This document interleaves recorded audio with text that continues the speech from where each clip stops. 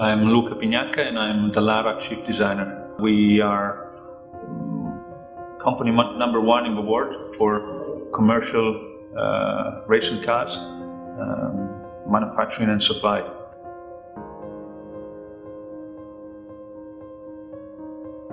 There's a, there's a big dilemma to, to solve quite often actually and the dilemma is uh, where should you stop uh, or, or what, what's enough?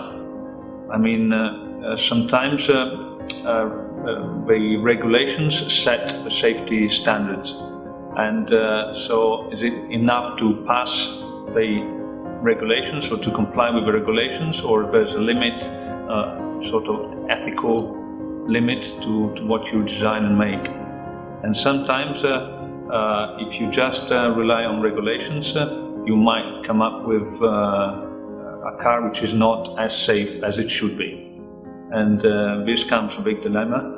Uh, is it right to stick to the regulations and uh, therefore being very competitive, or is it better to, you know, sometimes uh, lose some competitiveness in, in order to have more safety?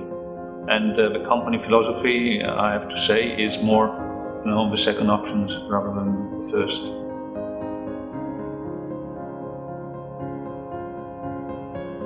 HyperWorks is uh, is what we use to design uh, all our uh, racing cars. All the key components are validated using HyperWorks, so I have to say uh, is fundamental for uh, for the success of the company.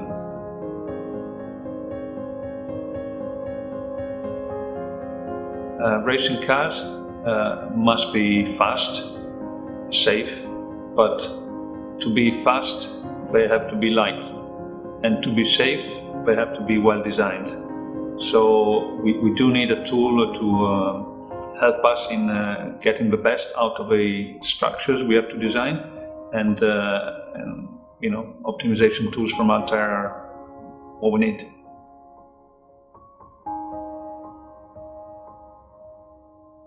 The, the relationships between our, our two companies will, uh, will be uh, I think will get stronger and stronger. Uh, when we started using Radioss, we were one of the few companies uh, in the world using Radioss with uh, composites and uh, trying to use Radioss for um, the simulation of crash with composite materials.